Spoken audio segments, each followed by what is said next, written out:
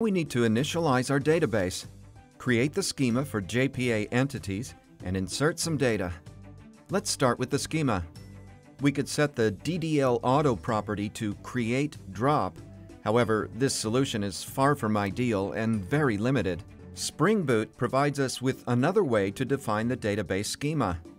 We can create the schema.sql file in the standard root class path locations, and it'll be used to initialize the database. Also, we need to set the Spring SQL init mode property to always to tell the application to trigger this script. Now we need to write a proper DDL script to initialize the database. With the help of JPA Buddy, it can be managed in a couple of clicks.